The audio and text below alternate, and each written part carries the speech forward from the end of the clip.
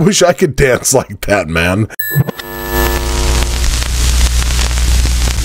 Hey Nachos and welcome. I just recently did a video with Jungkook, Jungkook. I'm not really sure uh, how you pronounce it exactly, but uh, standing next to you, and everybody in the comments says you have to watch a BTS video or react to something because I have never heard a BTS song. So, anyways, we're gonna go ahead and react to "Run" by BTS. So let's go ahead and just shut up and dip in. And this is live, by the way, from Busan I think that's how you say that.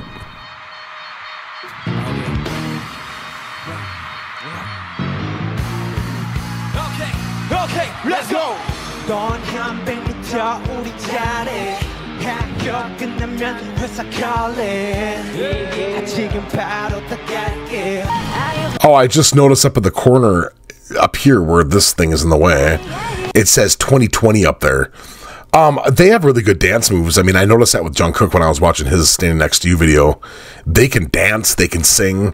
It's it's just like it reminds me of going back 20 years, 30 years, going way back to like the 80s with New Kids on the Block, and then in the late 90s you had like, you know, NSYNC and Backstreet Boys and stuff. It's it's a world, but these guys, from what I'm hearing and what I'm hearing from the comments too from the other video, is that BTS are full of talented solo artists that basically just came together to do BTS, but they all do their own thing independently. So that's definitely cool.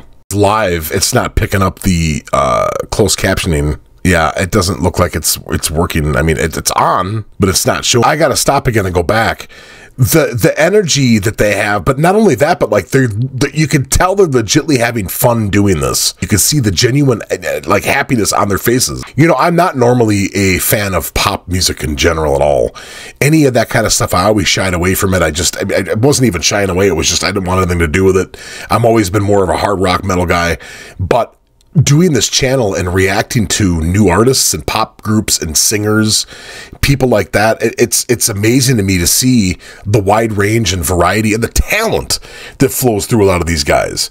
Like I think that was the thing, as I always thought, oh, they just got their music written for them and all that. From what I'm learning about BTS specifically, um, is that these guys write their own music. They they perform their own all these old da- these dance moves and stuff. They sing their own stuff. They were singing live and dancing around. No wonder they're out of breath. Anyways, if you like my stuff, hit subscribe, hit that bell notification, and we'll talk to you later.